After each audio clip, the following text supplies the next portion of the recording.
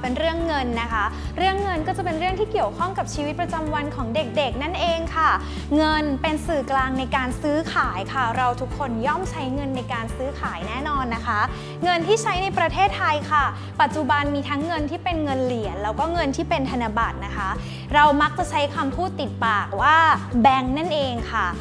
ต่อไปหน่วยเงินของประเทศไทยที่ใช้ในปัจจุบันนะคะ ก็เป็นหน่วยบาทแล้วก็หน่วยสตางค์ต่อไปค่ะเงินเหรียญแล้วก็เงินธนบัตรค่ะสามารถแลกแล้วก็เปรียบเทียบค่ากันได้ค่ะ โดยหน่วยเงินที่เป็นเหรียญค่ะจะมี ค่าน้อยกว่าเงินที่เป็นธนบัตรนะคะ 1 บาทเท่ากับ 100 สตางค์ค่ะ ในสมัยก่อนเราอาจจะเรียกว่า 4 สลึงเป็น 1 บาท 4 สลึงก็มาจากการที่มีเหรียญ 25 สตางค์จำนวน 4 เหรียญนั่นเอง รวมกันก็จะได้เท่ากับ 100 สตางค์หรือเท่ากับ 1 บาทนะคะ ต่อไปเราไปรู้จักความหมายของคำว่าเงินทอนค่ะ เงินทอนคือเงินที่ผู้ขายได้มอบให้กับผู้ซื้อนะคะ เมื่อเราจ่ายเงินไปเกินราคาของสินค้าที่ที่เราซื้อนั่นเองค่ะ และเมื่อนำจำนวนเงินทอนมารวมกับจำนวนราคาสินค้าค่ะ เราก็จะได้เงินที่เราได้จ่ายให้กับผู้ขายนั่นเองค่ะ ในเรื่องของเงินนะคะ เราก็มีกิจกรรมค่ะ ชื่อว่า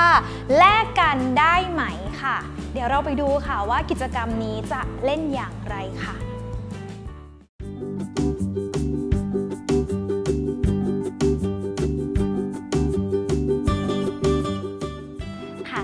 กิจกรรมแลกกันได้ไหมนะคะ ก็เป็นการอธิบายนะคะ เป็นสื่อที่จะช่วยอธิบายการแลกเงินค่ะ โดยปกติแล้วถ้าสมมุติเราให้เด็กๆจำว่า 1 บาทมีเหรียญ50 สตางค์2เหรียญเด็กอาจจะลืมเราจะใช้ภาพในการช่วยจำโดยการดัดแปลงจากเหรียญกลมๆนะคะ เป็นการติดลงไปแบบนี้ค่ะ อ่านนี้แทน 1 บาท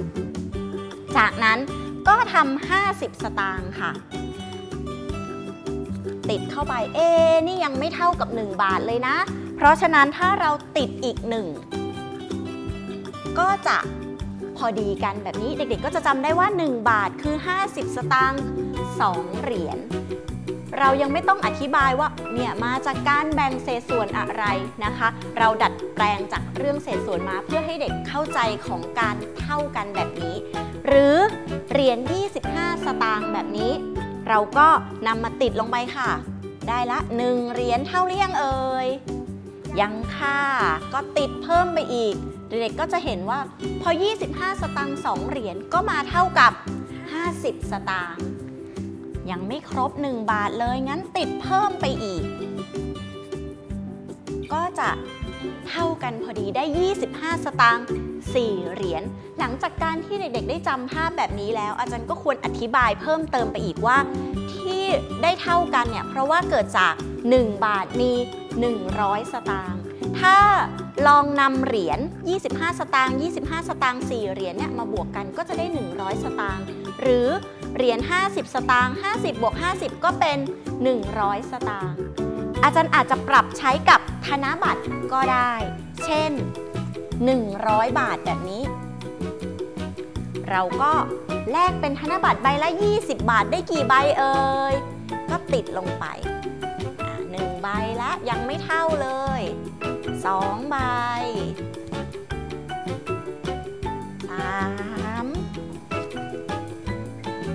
4 และ 5 ใบก็จะเท่ากับ 100 บาทพอดีนะคะ อาจารย์สามารถปรับโดย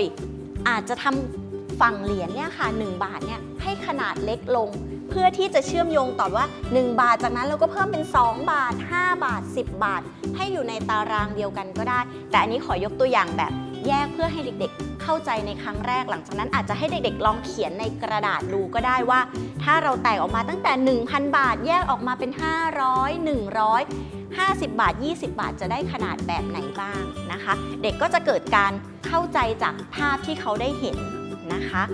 หลังจากเรียนรู้ค่าของเงินแลกเงินได้ ยังมีเรื่องของการทอนเงิน เราจะใช้กิจกรรม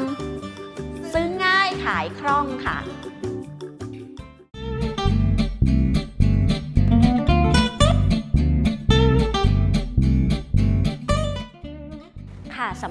กิจกรรมซื้อง่ายขายคล่องนะคะ ก็จะเป็น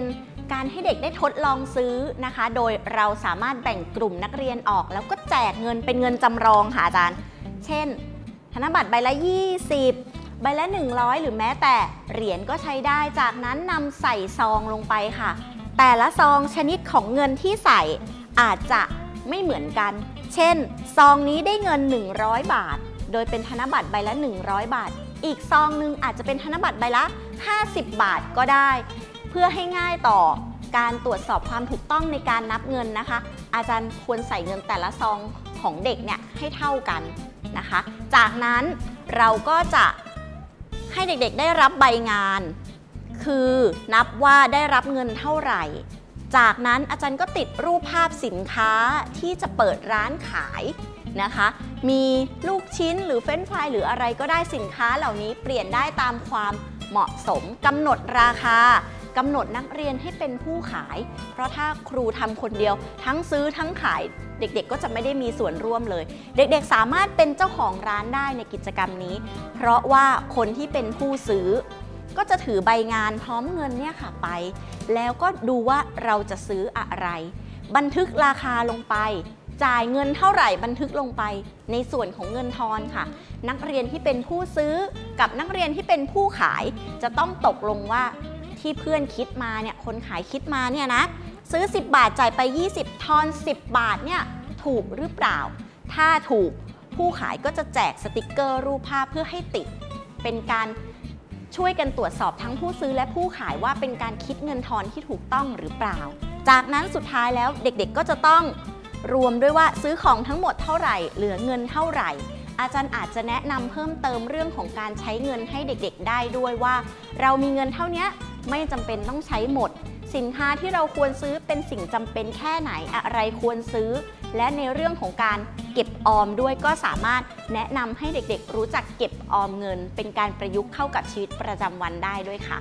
ค่ะ จากที่เมื่อสักครู่นี้อาจารย์เบญญาภาได้ อธิบายเพิ่มเติมว่าเราสามารถเชื่อมโยงกับชีวิตประจำวันของเด็กๆ ในเรื่องการอดออมแล้วนะคะ จะสังเกตเห็นได้ว่าในกิจกรรมนี้ค่ะ เด็กๆ จะต้องใช้ทักษะกระบวนการทางคณิตศาสตร์ในเรื่องที่เรียนมาแล้ว ไม่ว่าจะเป็นการบวก การลบนะคะ เด็กๆ ได้ฝึกคิดหลายครั้งค่ะ จนเกิดเป็นความคิดคล่อง ซึ่งหนึ่งในนั้นก็คือทักษะทางคณิตศาสตร์นั่นเองค่ะ